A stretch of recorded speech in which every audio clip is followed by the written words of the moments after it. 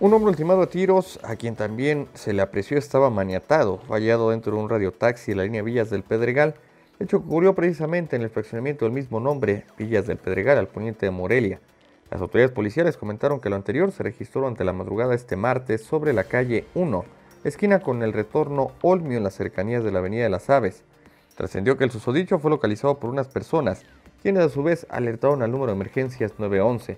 Luego acudieron patrulleros y paramédicos, mismos que confirmaron el deceso.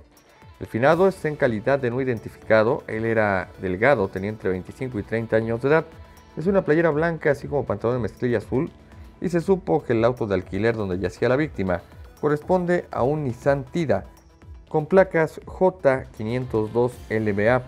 Los guardianes del orden delimitaron el perímetro y después arribó la unidad de servicios periciales y escena del crimen cuyos especialistas emprendieron las averiguaciones respectivas y trasladaron el cadáver a la morgue.